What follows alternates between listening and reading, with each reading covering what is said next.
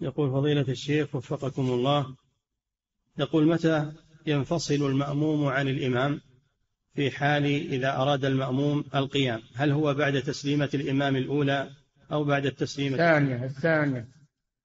ما يقوم حتى يسلم الإمام التسليمة الثانية لأنه لا يدري لعله قد بقي شيء من الصلاة سجود سهو أو شيء.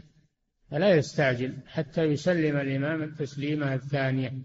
حتى إن الفقهاء قالوا لو قام بعد التسليمة الأولى انقلبت صلاته نافلة.